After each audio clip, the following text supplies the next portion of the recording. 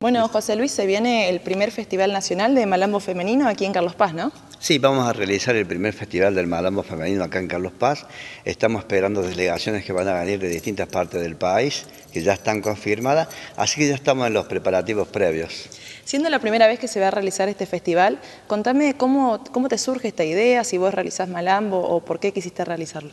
Bueno, nosotros como profesor, director de la compañía cordobesa de danza folclórica y Malambo, que estamos hace muchos años en este ámbito de la danza, eh, estando de jurado durante mucho tiempo en distintos festivales de todo el país, hemos visto cómo se ha empezado a desarrollar el malambo femenino, que es una creación nueva, de estos últimos 10 años y bueno, nos dio la inquietud de poder darle a, a, las chicas que están practicando el Malambo el campeonato argentino de Malambo con el título de ser campeona argentina de Malambo.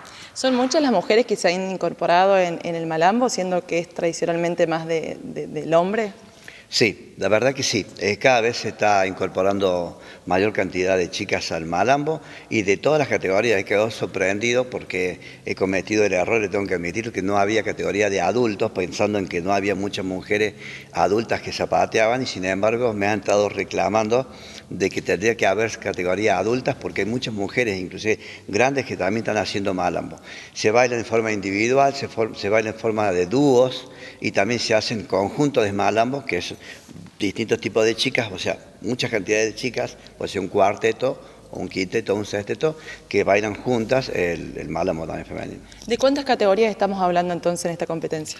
Bueno, en la categoría femenina tenemos la categoría menor, juvenil y mayor, y se divide también los rubros que son eh, solista de Malambo y conjunto de Malambo. También tenemos danza, no, no es tan solo eh, Malambo, tenemos conjunto de danza, tenemos pareja de danza, tenemos Malambo también masculino, porque la idea también es fomentar todo lo que tenga que ver con la danza folclórica, más allá que el premio principal sea de declarar a la campeona argentina de Malambo. Contanos de dónde viene la gente a participar. Bueno, tenemos gente que va a venir de Catamarca, de Tucumán, de la provincia de Buenos Aires, de Capital Federal, por supuesto de la provincia de Córdoba, de Córdoba Capital, de Salta, de, no sé si dije Tucumán, de Formosa, de Mendoza, o sea que tenemos un surtido bastante grande y vienen de, muchos lados porque todos quieren salir por primera vez campeón de Argentina de Málaga. Bien, por último entonces recordanos eh, el día y los horarios. Bueno, esto va a comenzar a partir del mediodía del día este próximo sábado 13 de octubre y va a tener una jornada que va a durar casi todo el día hasta las 12, 1 de la mañana. Y bueno, estamos acá en el complejo Malambo, este hermoso complejo aparte que tiene para que nosotros podamos recibir a toda la gente que viene de afuera y quedar muy bien, porque este complejo, tanto Villa Carlos Paz, que también es un lugar hermoso, tratamos de ofrecerle a toda la gente que viene de distintas provincias la mayor comodidad posible. Así que vamos a estar el 13 de octubre acá en el complejo Malambo. ¿Cuál es el precio de la entrada? El precio de la entrada es 150 pesos.